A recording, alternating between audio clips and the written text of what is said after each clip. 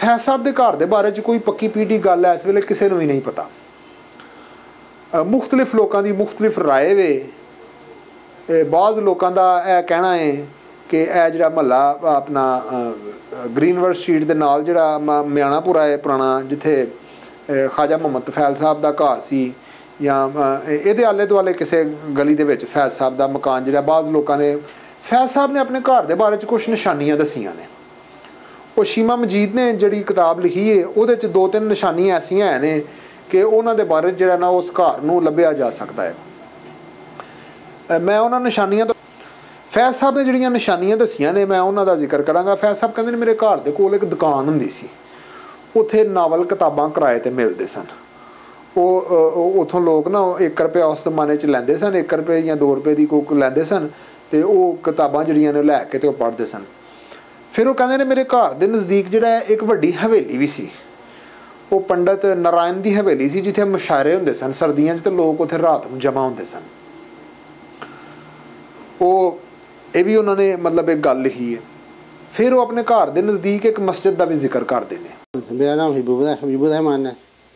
ਅਭੀ ਇਹ ਮਾ ਕਾਲਖਾਨਾ ਕੈਂਚੋ ਕਾਲਖਾਨਾ ਹੈ ਇਧਰ। ਪੰਜਾਬੀ ਪੰਜਾਬੀ ਪੰਜਾਬੀ ਗੱਲ ਕਰਨੀ ਚਲੋ ਠੀਕ ਹੈ।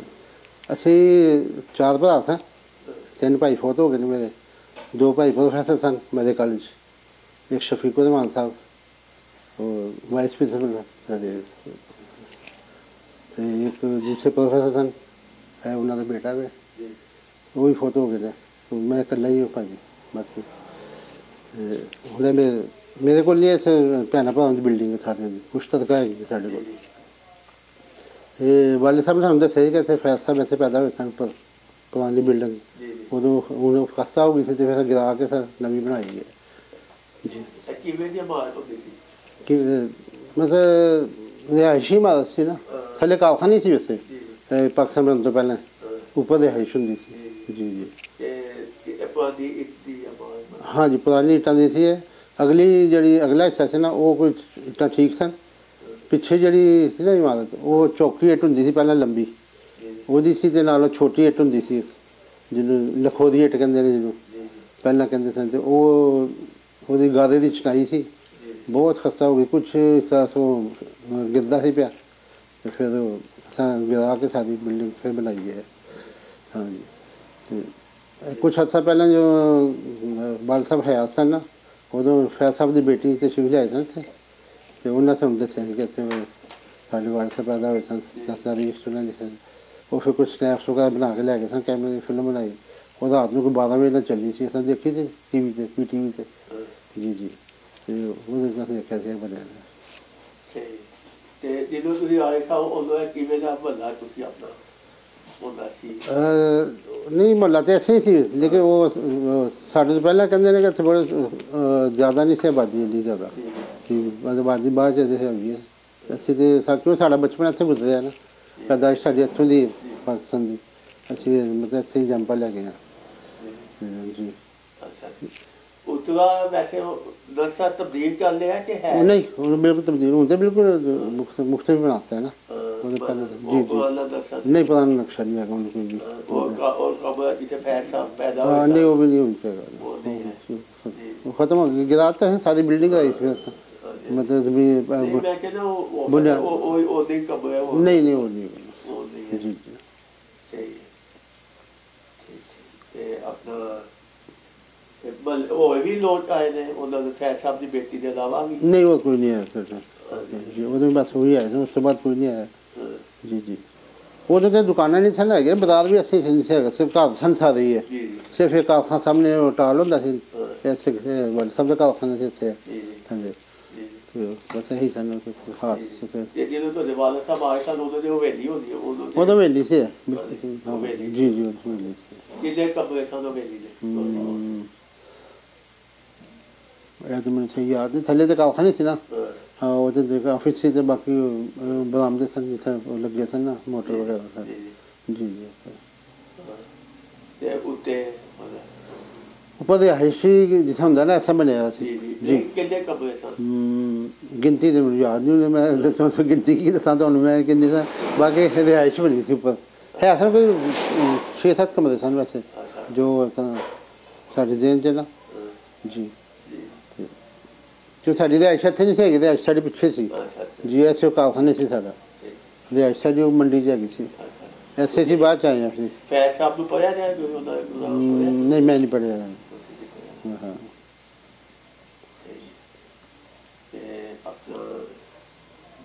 ਬੱਲੇ ਦੇ ਮਤਲਬ ਕੋਈ ਹੋਰ ਗੱਲ ਸੁਣੀ ਹੋਈ ਨਹੀਂ ਪੁਰਾਣੇ ਬੰਦੇ ਹੁਣ ਹਿਮਾਲੇ ਚ ਆਏ ਕੋਈ ਨਵੀਂ ਸਾਰੇ ਬੰਦੇ ਆ ਗਏ ਨੇ ਕਿਰਾਏਦਾਰ ਆ ਕੋਈ ਮਾਲਕ ਨਵੇਂ ਆ ਗਏ ਨੇ ਜਿਹੜੇ ਪੁਰਾਣੇ ਕੋਈ ਦੁਨੀਆ ਤੋਂ ਚਲੇ ਗਏ ਨੇ ਕੋਈ ਉੱਥੇ ਝੱਥੋਂ ਚਲੇ ਗਏ ਨੇ ਜੀ ਜੀ ਸਹੀ। ਜੀ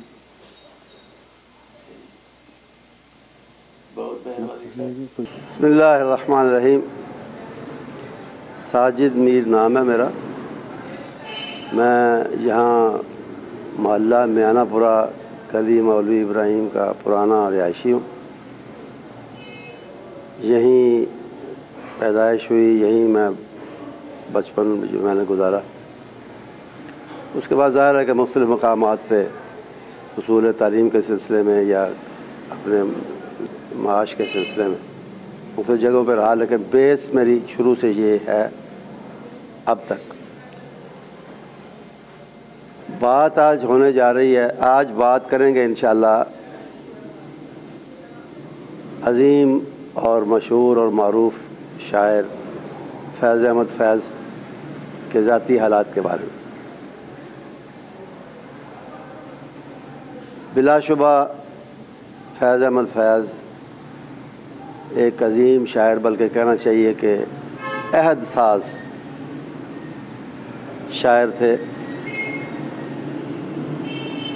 ਮਾਜ਼ੀ ਵਿੱਚ ਵੀ ਉਹਨਾਂ ਦੀ ਅਹਮੀਅਤ ਬਤੌਰ ਇੱਕ ਸ਼ਾਇਰ ਦੇ ਔਰ ਇੱਕ ਮੁਫੱਕਰ ਦੇ ਐਸੀ ਹਾਲ ਦੇ ਵਿੱਚ ਵੀ ਹੈ ਔਰ ਮੈਂ ਸਮਝਣਾ ਕਿ ਦੂਰ ਤੱਕ ਮੁਸਤਕਬਲ ਦੇ ਵਿੱਚ ਵੀ ਉਹਨਾਂ ਦਾ, ਉਹਨਾਂ ਦੀ ਸ਼ੋਹਰਤ, ਉਹਨਾਂ ਦੀ ਉਹਨਾਂ ਦਾ ਜਿਸ ਜਿਹਨੂੰ ਕਹਿੰਦੇ ਨੇ, ਉਹਨਾਂ ਦਾ ਤੂਤੀ ਬੋਲਦਾ ਰਹੇਗਾ, ਯਾਨੀ ਉਹਨਾਂ ਦੀ ਸ਼ੋਹਰਤ ਜਿਹੜੀ ਉਹ ਬਾਮੇ ਉਰੂਜ ਦੇ ਉੱਤੇ ਰਹੇਗੀ।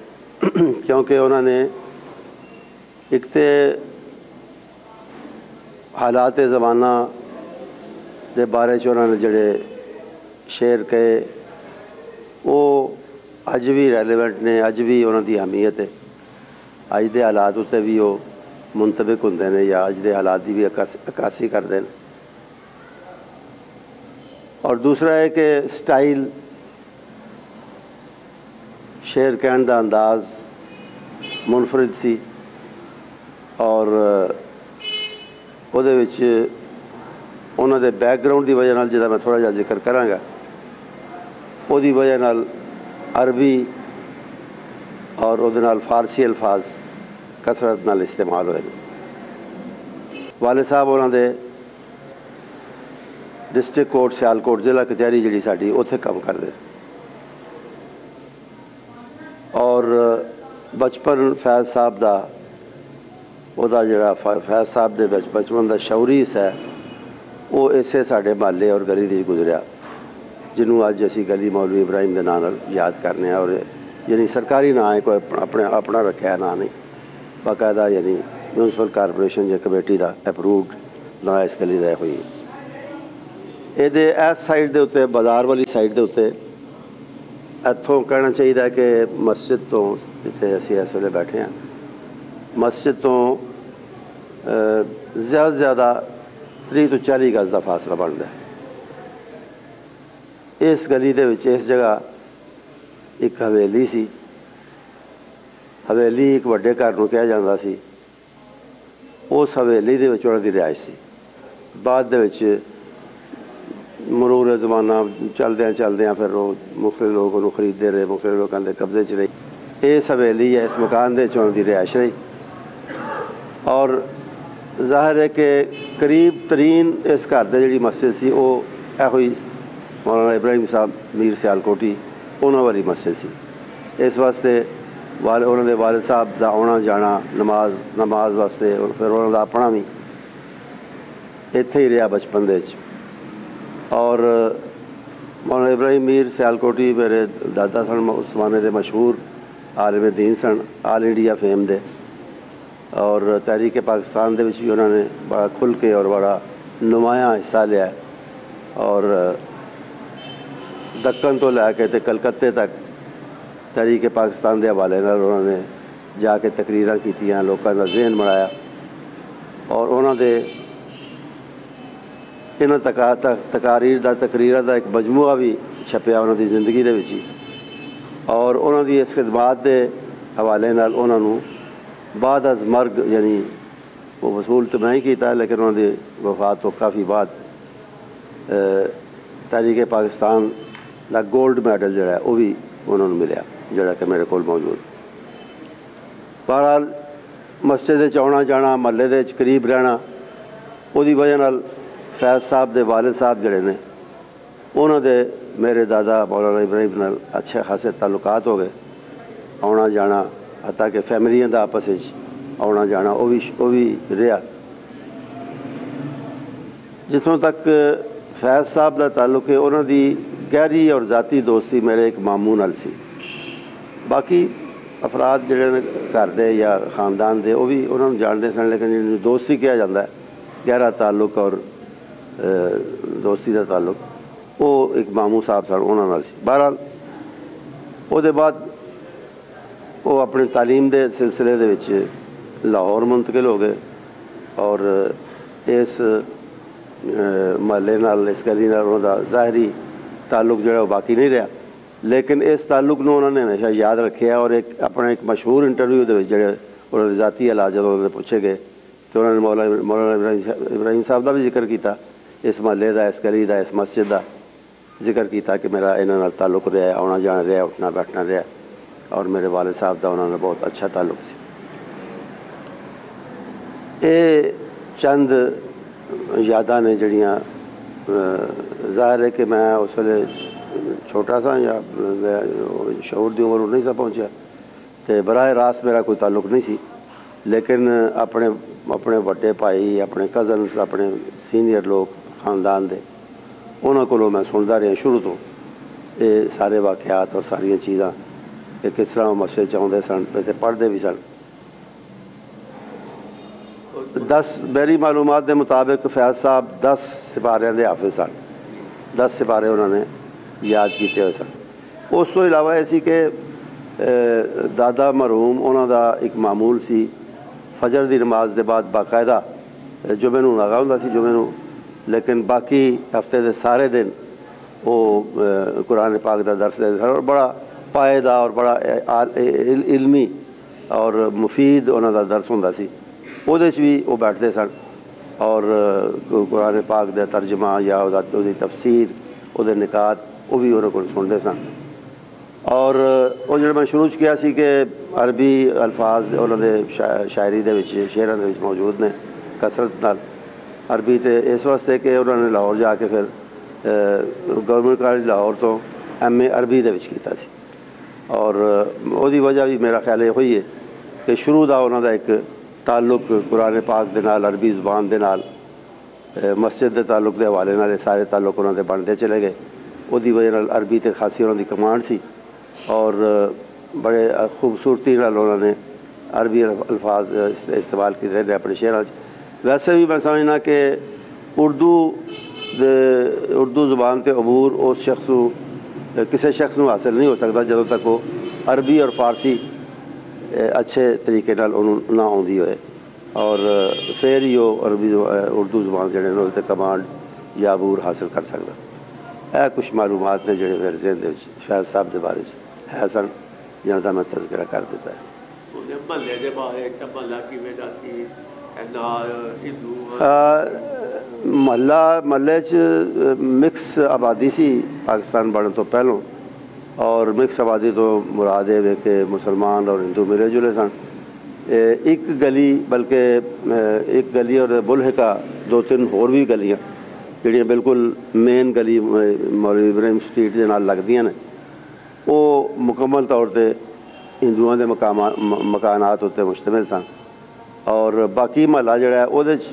ਮਿਲੇ ਜੁਲੇ ਸਨ ਮੁਸਲਮਾਨ ਔਰ ਹਿੰਦੂ ਲੇਕਿਨ ਅ, ਜ਼ਮਾਨਾ ਜਿਹੜਾ ਬਾਹਮੀ ਇਹਤਰਾਮ ਦਾ ਸੀ ਔਰ ਅ, ਬੜੇ ਅਮਨ ਅਮਾਨ ਦੇ ਨਾਲ ਔਰ ਅੱਛੇ ਤਰੀਕੇ ਨਾਲ ਆਮ ਹਾਲਾਤ ਦੇ 'ਚ ਕਦੀ ਕੋਈ ਮ- ਮਾਮਲਾ ਹੋ ਵੀ ਹੋ ਵੀ- ਹੋ ਵੀ ਜਾਂਦਾ ਸੀ ਲੇਕਿਨ ਆਮ ਹਾਲਾਤ ਦੇ 'ਚ ਦੋਵੇਂ ਅ, ਮਜ਼ਹਬ ਮਜ਼ਹਬ ਮਜ਼ਾਹਿਬ ਨਾਲ ਤਾਲੁਕ ਰੱਖਣੇ ਵਾਲੇ ਲੋਕ ਜਿਹੜੇ ਨੇ ਉਹ ਬੜੇ ਆਰਾਮ ਨਾਲ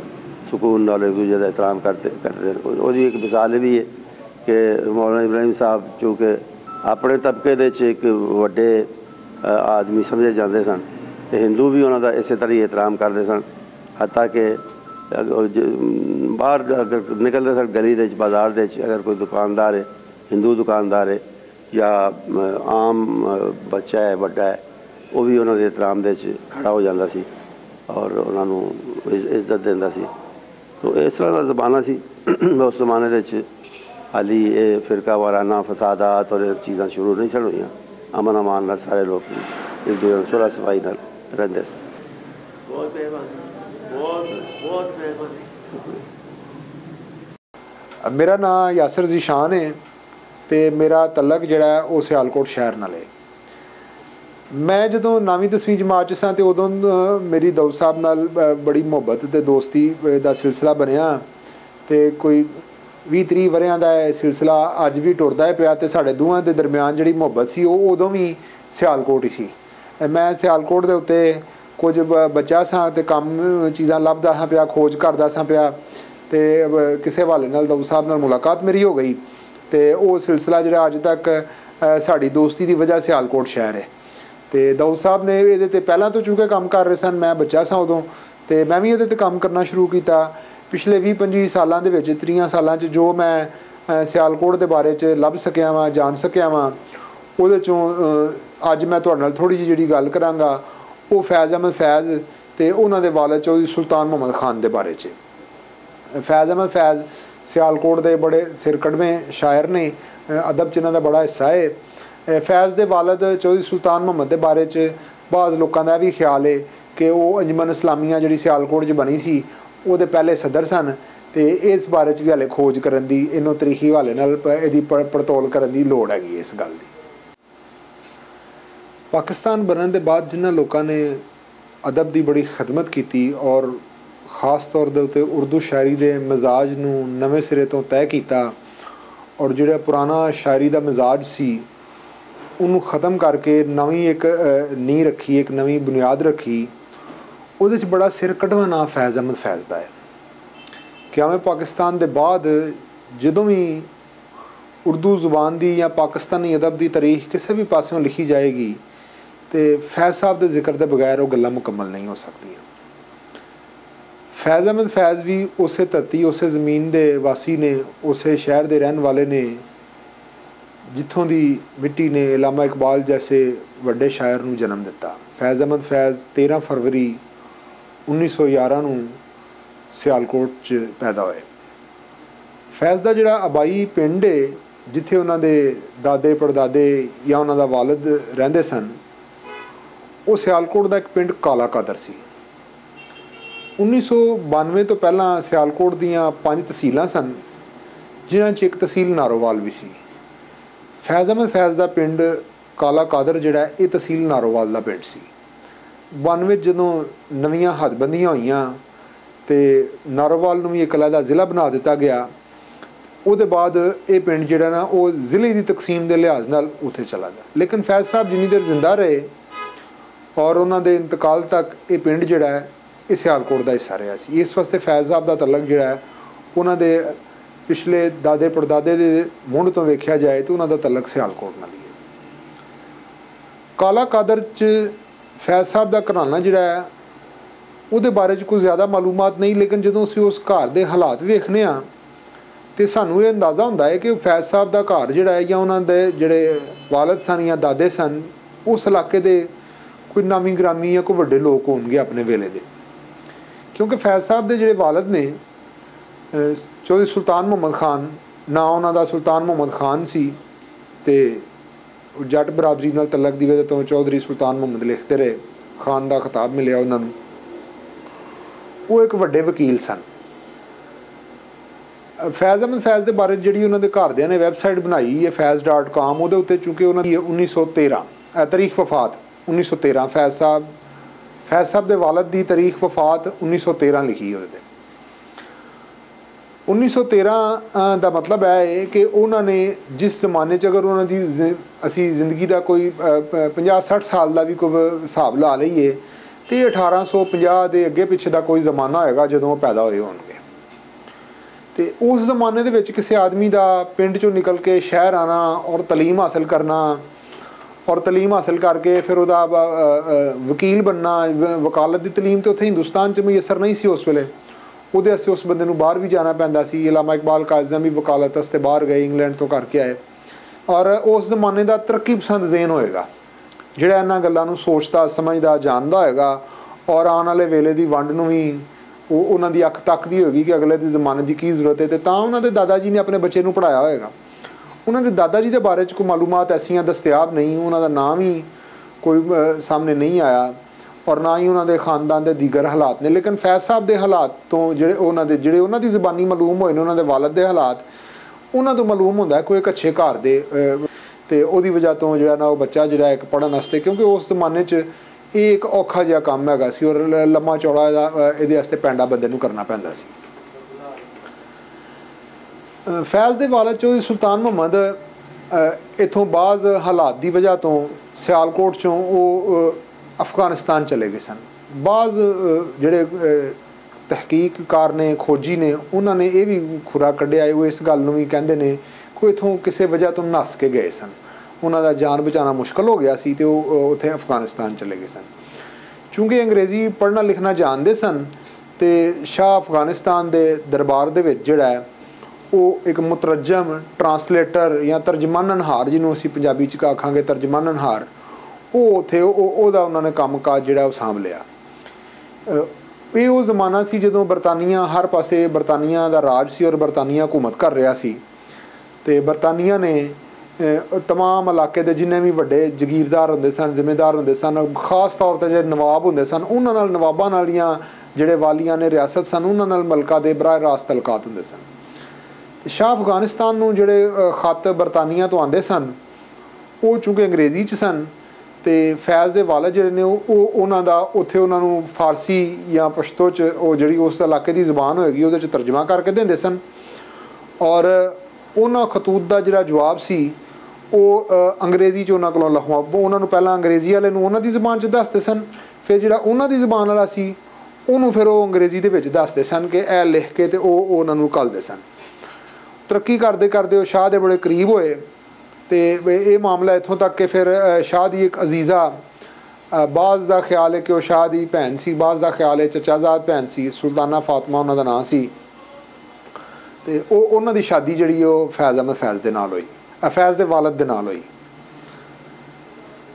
ਉਹ ਫੈਜ਼ ਦੇ ਵਾਲਦ ਦੀ ਸ਼ਾਦੀ ਚੂੰਕਿ ਸ਼ਾਹ ਅਫਗਾਨਿਸਤਾਨ ਦੇ ਘਰਾਣੇ ਦੇ ਵਿੱਚ ਹੋਈ ਸੀ, ਇਸ ਵਾਸਤੇ ਉਹਨਾਂ ਨੂੰ ਉਹ ਪ- ਆਪ ਹੀ ਪਹਿਲਾਂ ਵੀ ਠੀਕ ਠਾਕ ਸਨ, ਬਾਅਦ ਚ ਉਹ, ਉਹ- ਉਹ ਖਤੂਨ ਜਿਹੜੀ ਆਈ, ਉਹ ਵੀ ਜਿਹੜੀ ਉਹ ਇਸ ਹਵਾਲੇ ਨਾਲ ਇਲਮੀ ਲਿਹਾਜ਼ ਨਾਲ ਕਿਉਂਕਿ ਇੱਕ ਸ਼ਾਹੀ ਖਾਨਦਾਨ ਦੀ ਬੀਬੀ ਸੀ, ਤੇ ਯਕੀਨਨ ਉਹਨੇ ਉਹ- ਉਸ ਜ਼ਮਾਨੇ ਦੀ ਜਿਹੜੀ ਰਾਜ ਤਾਲੀਮ ਹੋਏਗੀ ਜਾਂ ਉਸ ਜ਼ਮਾਨੇ ਦਾ ਜਿਹੜਾ ਇਲਮੀ ਵੰਡ ਬਿਹਤਰ ਹੋਏਗੀ, ਸਕੂਲ, ਕਾਲਜ ਦੀ ਤਾਂ ਸ਼ਾਇਦ ਉੱਥੇ ਨਹੀਂ ਹੋਣਗੇ, ਉਹ ਜ਼ਰੂਰ ਉਹਨੇ ਹਾਸਲ ਕੀਤੀ ਹੋਏਗੀ ਔਰ ਕਿਤਾਬਾਂ ਲਾਇਬ੍ਰੇਰੀ ਨਾਲ ਉਹਦੀ ਕੋਈ ਆਸ਼ਨਾਈ ਰਹੀ ਹੋਏਗੀ। ਇਹਦੇ, ਇਹਨਾਂ ਇਹਨਾਂ ਦੋਵਾਂ ਗੱਲਾਂ ਦੇ ਅਸਰਾਤ ਫੈਜ਼ ਸਾਹਿਬ ਦੀ ਜ਼ਿੰਦਗੀ ਤੋਂ ਹੋਏ ਘਰ ਦੇ ਵਿੱਚ ਇੱਕ ਪਾਸੇ ਬਾਪ ਦਾ ਜਿਹੜਾ ਇਲਮੀ ਵਿਰਸਾ ਹੈ, ਉਹ ਵੀ ਮੌਜੂਦ ਹੈ। ਦੂਜੇ ਪਾਸੇ ਮਾਂ ਦਾ ਇਲਮੀ ਵਿਰਸਾ ਵੀ ਮੌਜੂਦ ਹੈ। ਇੱਕ ਪਾਸੇ ਫਾਰਸੀ ਹੈ, ਇੱਕ ਪਾਸੇ ਅੰਗਰੇਜ਼ੀ ਹੈ। ਉਸ ਜ਼ਮਾਨੇ ਤੱਕ ਫਾਰਸੀ ਔਰ ਅੰਗਰੇਜ਼ੀ ਜਿਹੜੀ ਹੈ, ਇਹ ਸਾਡੇ ਅਦਬ ਦੇ ਵਿੱਚ ਚੰਗੀ ਡਾਢੀ ਜਗ੍ਹਾ ਰੱਖਦੇ ਸਨ। ਅੱਜ ਵੀ ਰੱਖਦੇ ਨੇ, ਇਹਨਾਂ ਦਾ ਅਦਬ ਕਦੀਮ ਜ਼ਮਾਨੇ ਤੋਂ ਮੌਜੂਦ ਹੈ। ਔਰ ਇਸ ਅਦਬੀ ਸਰਮਾਏ ਤੋਂ, ਇਸ ਵਗਦੀ ਨਹਿਰ ਤੋਂ ਫੈਜ਼ ਸਾਹਿਬ ਨੇ ਬੜਾ ਪਾਣੀ ਪੀਤਾ। ਫਾਰਸੀ ਤੋਂ ਵੀ ਤੇ ਅੰਗਰੇਜ਼ੀ ਤੋਂ ਵੀ। ਉਹਨਾਂ ਨੇ ਆਪਣੇ ਜਿਹੜਾ ਸ਼ੀਮਾ ਮਜੀਦ ਨੇ ਜਿਹੜੀ ਫੈਜ਼ ਸਾਹਿਬ ਦੇ ਬਾਰੇ ਚ ਕਿਤਾਬ ਲਿਖੀ ਹੈ ਉਹਦੇ ਚ ਉਹਨੇ ਥੋੜਾ ਜਿਹਾ ਜ਼ਿਕਰ ਕੀਤਾ ਹੈ। ਫੈਜ਼ ਸਾਹਿਬ ਨੇ ਖਾਸ ਤੌਰ ਦੇ ਉੱਤੇ ਦੋ ਵਾਕਿਆ ਦਾ ਜ਼ਿਕਰ ਕੀਤਾ ਹੈ। ਇੱਕ ਉਹ ਵਾਕਿਆ ਲਿਖਦੇ ਨੇ ਕਿ ਮੈਂ ਜਦੋਂ ਛੋਟਾ ਸਾਂ ਤੇ ਮੈਨੂੰ ਕੋਈ ਕਿਸੇ ਕਹਾਣੀਆਂ ਪੜ੍ਹਨ ਦਾ ਜਿਹੜਾ ਸ਼ੌਕ ਪੈਦਾ ਹੋ ਗਿਆ। ਔਰ ਉਹ ਸ਼ੌਕ ਕਿਸੇ ਕਹਾਣੀਆਂ ਪੜ੍ਹਨ ਦਾ ਇੰਨਾ ਵੱਧ ਗਿਆ ਕਿ ਮੈਂ ਜੋ ਘਰ ਚੋਰੀ ਛੁਪ ਕੇ ਸਕੂਲੋਂ ਕੋ ਲਿਆ ਕੇ ਕਿਤਾਬਾਂ ਪੜ੍ਹਦਾ ਸਾਂ ਤੇ ਜਿਹੜਾ ਮੇਰੇ ਵਾਲਦ ਸਾਹਿਬ ਦਾ ਸੈਕਟਰੀ ਸੀ, ਉਹਨਾਂ ਨੂੰ ਮੁੰਸ਼ੀ ਲਿਖਿਆ। ਮੁੰਸ਼ੀ ਉਹਨਾਂ ਨੇ ਕਿਹਾ ਉਹਦਾ ਸਾਡੇ ਘਰ 'ਚ ਵੀ ਬੜਾ ਅਮਲ ਦਖਲ ਸੀ। ਤੇ ਉਹ ਮੁਨਸ਼ੀ ਨੇ ਇੱਕ ਦਿਨ ਤੱਕ ਲਿਆ ਤੇ ਉਹਨੇ ਕਿਹਾ, ਮੈਂ ਤੇਰੇ ਵਾਲਦ ਸਾਹਿਬ ਨੂੰ ਦੀ ਸ਼ਿਕਾਇਤ ਲਾਵਾਂਗਾ ਕਿ ਤੁਹਾਡਾ ਮੁੰਡਾ ਤੇ ਪੜਨ ਦੀ ਬਜਾਏ ਤੇ ਕਿਸੇ ਕਹਾਣੀਆਂ ਦੇ ਚੱਕਰਾਂ 'ਚ ਪੈ ਗਿਆ। ਤੇ ਉਹ ਫੈਜ਼ ਸਾਹਿਬ ਕਹਿੰਦੇ ਨੇ, ਮੈਂ ਉਹਨੂੰ ਮਨਾ ਵੀ ਕੀਤਾ। ਫੈਜ਼ ਸਾਹਿਬ ਨੇ ਉਸ ਇੰਟਰਵਿਊ 'ਚ ਕਿਹਾ ਹੈ ਕਿ ਮੈਂ ਉਹਨੂੰ ਮਨਾ ਵੀ ਕੀਤਾ ਸੀ ਕਿ ਇਹ ਗੱਲ ਮੇਰੇ ਪਿਓ ਨੂੰ ਨਾ ਦਸੀ, ਲੇਕਿਨ ਉਹ ਨਹੀਂ ਮੁੜਿਆ। ਉਹਨੇ ਇਹ ਗੱਲ ਦੱਸ ਛੱਡੀ। ਤੇ ਫੈਜ਼ ਕਹਿੰਦੇ ਨੇ, ਮੇਰੇ ਵਾਲਦ ਨੇ ਮੈਨੂੰ ਆਖਿਆ ਕਿ ਯਾਰ ਮੈਨੂੰ ਪਤਾ ਲੱਗਾ ਕਿ ਤੂੰ ਇਹ ਕਿਤਾਬਾਂ ਪੜ੍ਹਨਾ, ਕਿਸੇ ਕਹਾਣੀਆਂ ਪੜ੍ਹਨਾ ਤੇ ਜੇ ਤੂੰ ਪੜ੍ਹਨਾ ਚਾਹਨਾ ਹੈ ਕਿਸੇ ਕਹਾਣੀ ਪੜ੍ਹਨਾ ਚਾਹਨਾ ਤੇ ਸਾਡੇ ਸ਼ਹਿਰ 'ਚ ਇੱਕ ਵੱਡੀ ਲਾਇਬ੍ਰੇਰੀ ਹੈ। ਤੇ ਉਸ ਲੈਬ ਇਲਾਮਾ ਇਕਬਾਲ ਲਾਇਬ੍ਰੇਰੀ ਅਹ, ਜਿਹਦਾ ਮੌਜੂਦਾ ਨਾਮ ਹੈ ਇਲਾਮਾ ਇਕਬਾਲ ਲਾਇਬ੍ਰੇਰੀ। ਉਹਨਾਂ ਨੇ ਕਿਹਾ ਕਿ ਮੈਨੂੰ ਉਹਨਾਂ ਨੇ ਕਿਹਾ ਉਸ ਜ਼ਮਾਨੇ ਚ ਉਹਦਾ ਨਾਮ ਗਾਲਬਨ ਮਿਟਗੁਮਰੀ ਲਾਇਬ੍ਰੇਰੀ ਸੀ। ਤੇ ਉਹਨਾਂ ਨੇ ਕਿਹਾ ਕਿ ਤੂੰ ਉਹ- ਉੱਥੋਂ ਜਾ ਕੇ ਤੇ ਉੱਥੋਂ ਲ- ਲਿਆ ਕੇ ਪੜ੍ਹ। ਤੇ ਫੈਜ਼ ਸਾਹਿਬ ਕਹਿੰਦੇ ਨੇ ਮੈਂ ਫਿਰ ਉਸ ਜ਼ਮਾਨੇ ਦੇ ਜਿਹੜੇ ਵੱਡੇ ਲੋਕ ਸਨ ਕੀਟਸ ਨੂੰ ਪੜ੍ਹ ਲਿਆ ਅਹ, ਸ਼ੈਕਸਪੀਅਰ ਨੂੰ ਪੜ੍ਹ ਲਿਆ ਇਸ ਤਰ੍ਹਾਂ ਦੇ ਜਿਹੜੇ ਵੱਡੇ ਅੰਗਰੇਜ਼ੀ ਦੇ ਲੋਕ ਸਨ ਉਹ ਤੇ ਮੈਂ ਕਿੰਨੇ ਬੜੇ ਪੜ੍ਹ ਲਏ ਸਨ? ਤੇ ਇੱਥੋਂ ਤੱਕ ਉਹ ਲਿਖਦੇ ਨੇ, ਉਹ ਕਹਿੰਦੇ ਨੇ ਕਿ ਫਿਰ ਮੈਂ ਵਾਲਦ ਸਾਹਿਬ ਨੇ ਮੇਰੀ ਇਹ ਵੀ ਡਿਊਟੀ ਲਾਈ ਸੀ ਕਿ ਮੈਂ ਸ਼ਾਮ ਨੂੰ ਜਿਹੜਾ ਨਾ ਉਹਨਾਂ ਨੂੰ ਅਖਬਾਰ ਪੜ੍ਹ ਕੇ ਸੁਣਾਉਂਦਾ ਸਾਂ। ਰੋਜ਼ ਦਾ ਜਿਹੜਾ ਅਖਬਾਰ ਸੀ ਉਹ ਮੈਂ ਪੜ੍ਹ ਕੇ ਸੁਣਾਉਂਦਾ ਸਾਂ ਤੇ ਜਿਹੜੇ ਉਹਨਾਂ ਦੇ ਨਾਂ ਖੱਤ ਆਉਂਦੇ ਸਨ, ਉਹਦੇ ਜਵਾਬ ਜਿਹੜੇ ਨੇ ਉਹ ਮੇਰੇ ਕੋਲੋਂ ਲਹਾਉਂਦੇ ਸਨ। ਇਹ ਗੱਲ ਚੂੰਕਿ ਫੈਜ਼ ਸਾਹਿਬ ਨੇ ਆਖੀ ਹੈ ਤੇ ਅਸੀਂ ਇਹਨੂੰ ਮੰਨ ਲੈਂਦੇ ਹਾਂ, ਲੇਕਿਨ ਤਰੀਹੀ ਜਦੋਂ ਇਹਦੀ ਖੋਜ ਕੀਤੀ ਜਾਏ ਤੇ ਇਹਦੇ 'ਚ ਥੋੜਾ ਜਿਹਾ ਰੌਲਾ ਇਸ ਗੱਲ ਦੇ ਵਿੱਚ ਇੰਨਾ ਕੁ ਸਾਰਾ ਹੈ ਏ ਕਿ ਫੈਜ਼ ਸਾਹਿਬ ਦੀ ਆਪਣੀ ਪੈਦਾਇਸ਼ ਜਿਹੜੀ ਏ ਉਹ 1911 ਦੀ ਏ ਤੇ ਫੈਜ਼ ਦੇ ਵਾਲਦ ਜਿਹੜੇ ਨੇ ਉਹ ਉਹਨਾਂ ਦਾ ਇੰਤਕਾਲ ਜਿਹੜਾ 1913 ਚ ਹੋ ਗਿਆ ਸੀ, ਯਾਨੀ ਫੈਜ਼ ਸਾਹਿਬ ਦੇ ਵਾਲਦ ਜਿਸ ਵੇਲੇ ਉਹ ਇਸ ਦੁਨੀਆ ਤੋਂ ਗਏ ਨੇ ਤੇ ਉਦੋਂ ਫੈਜ਼ ਸਾਹਿਬ ਦੀ ਉਮਰ ਜਿਹੜੀ ਉਹ 2 ਸਾਲ ਸੀ। ਐਨ ਮੁਮਕਨ ਹੈ ਕਿ ਤਾਰੀਖ ਵਫਾਤ 'ਚ ਕੋਈ ਮੁਗਾਲਤਾ ਹੋਏ ਜਾਂ ਇਸ ਵਾक़ੇ ਦੀ ਸਿਹਤ, ਇਹ ਇਹ ਖੋਜੀਆਂ ਦਾ ਕੰਮ ਹੈ, ਇਸ ਖੋਜ ਨੂੰ ਕੱਢਣਾ ਔਰ ਇਹਦਾ ਨਤਾਰਾ ਕਰਨਾ। ਲੇਕਿਨ ਬਹਰਹਾਲ ਚੂੰਕਿ ਵਾਕਿਆ ਫੈਜ਼ ਸਾਹਿਬ ਨੇ ਲਿਖਿਆ ਹੈ, ਸ਼ੀਮਾ ਮਜੀਦ ਨੇ ਉਹਦਾ ਇੰਟਰਵਿਊ ਕੀਤਾ ਹੈ ਤੇ ਅਸੀਂ ਇਸ ਵਾक़ੇ ਨੂੰ ਹੀ ਫਿਲਹਾਲ ਅੱਗੇ ਲੈ ਕੇ ਟੁਰਨੇ ਹਾਂ। ਉਹ ਕਹਿੰਦੇ ਨੇ 10ਵੀਂ ਜਮਾਤ ਤੱਕ ਪਹੁੰਚਣ ਤੱਕ ਨਾ ਮੇਰੀ ਅੰਗਰੇਜ਼ੀ ਵਾਲਦ ਸਾਹਿਬ ਦੀ ਇਸ ਕੋਸ਼ਿਸ਼ ਨਾਲ ਇੰਨੀ ਜ਼ਿਆਦਾ ਠੀਕ ਹੋ ਗਈ ਸੀ ਕਿ ਮੈਂ ਜਿਹੜੇ ਸਕੂਲ 'ਚ ਉਸਤਾਦ ਪੜਾਉਂਦੇ ਸਨ, ਸਕਾਚ ਮਿਸ਼ਨ ਸਕੂਲ ਦੇ, ਉਹਨਾਂ ਉਸਤਾਦਾਂ ਦੀਆਂ ਗਲਤੀਆਂ ਕੱਢਦਾ ਸਾਂ। ਉਹ ਕਹਿੰਦੇ ਨੇ, ਮੈਨੂੰ ਅੰਦਾਜ਼ਾ ਹੋਇਆ ਕਿ ਕੁਝ ਉਸਤਾਦ ਅੰਗਰੇਜ਼ੀ ਸਹੀ ਨਹੀਂ ਪੜ੍ਹਾਉਂਦੇ ਪਏ। ਤੇ ਮੈਂ ਉਹਨਾਂ ਦੀਆਂ ਗਲਤੀਆਂ ਵੀ ਜਿਹੜੀਆਂ ਨੇ ਉਹ ਕੱਢਦਾ ਹੁੰਦਾ ਸਾਂ।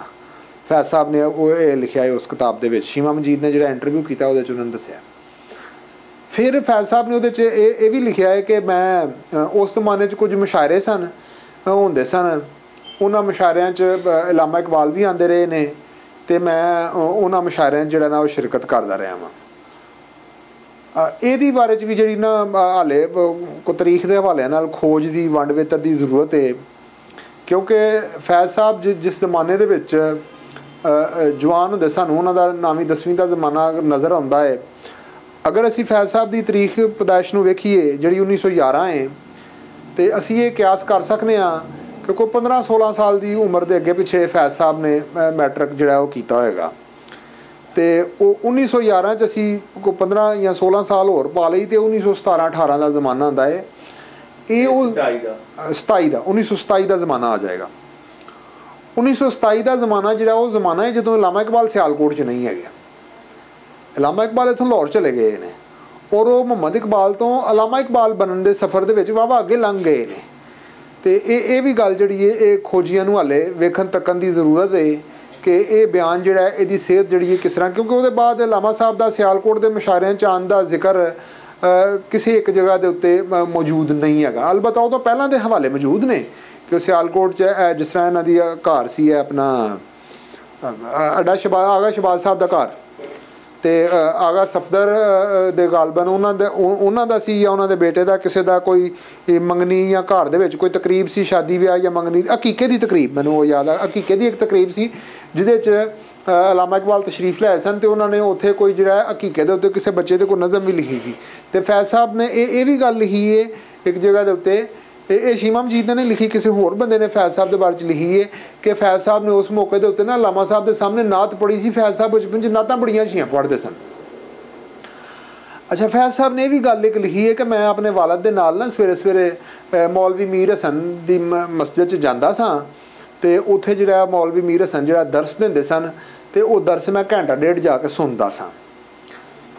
ਇਹਦੀ ਸਿਹਤ ਵੀ ਜਿਹੜੀ ਉਹ ਖੋਜੀਆਂ ਦਾ ਕੰਮ, ਇਹਦੀ ਖੋਜ ਕੱਢਣ ਕਿਉਂਕਿ ਫੈਜ਼ ਸਾਹਿਬ ਦੇ ਵਾਲਾ ਜਿਹੜੇ ਨੇ ਉਹ 1913 ਚ ਉਹਨਾਂ ਦਾ ਇੰਤਕਾਲ ਹੋ ਗਿਆ ਸੀ ਤੇ ਉਦੋਂ ਫੈਜ਼ ਦੀ ਉਮਰ 2 ਸਾਲ ਸੀ ਤੇ 2 ਸਾਲ ਦਾ ਬੱਚਾ ਮੌਲਵੀ ਇਬਰਾਹੀਮ ਮੀਰ ਦਾ ਦਰਸ ਸੁਣਨ ਨਹੀਂ ਜਾ ਸਕਦਾ। ਬਹਰਹਾਲ ਇਹ ਚੂੰਕਿ ਇਹਦੇ ਇਹਦੇ ਰਾਵੀ ਜਿਹੜੇ ਨੇ ਉਹ ਅ, ਆਪੀ ਫੈਜ਼ ਸਾਹਿਬ ਆਪੀ ਨੇ ਤੇ ਐਨ ਮੁਮਕਨ ਹੈ ਕਿ ਤਾਰੀਖ ਵਫਾਤ ਦੇ ਵਿੱਚ ਕੋਈ ਭੁਲੇਖਾ ਐਸਾ ਹੋਏ ਜਿਹਨੂੰ ਹਲੇ ਕੋ ਖੋਜ ਕਰਕੇ ਲੱਭਣ ਦੀ ਜ਼ਰੂਰਤ ਹੈ। ਤੇ ਕਿਉਂਕਿ ਇੱਥੇ ਸਿਆਲਕੋਟ ਦੇ ਵਿੱਚ ਚੌਧਰੀ ਸੁਲਤਾਨ ਮੁਹੰਮਦ ਦੀ ਕਬਰ ਮੌਜੂਦ ਨਹੀਂ ਅਲਬਤਾ ਕਾਲਾ ਕਾਦਰ ਚ ਜਿਹੜਾ ਨਾ ਕਿਹਾ ਜਾਂਦਾ ਹੈ ਕਿ ਉੱਥੇ ਉਹਨਾਂ ਦੀ ਕਬਰ ਜਿਹੜੀ ਮੌਜੂਦ ਹੈ।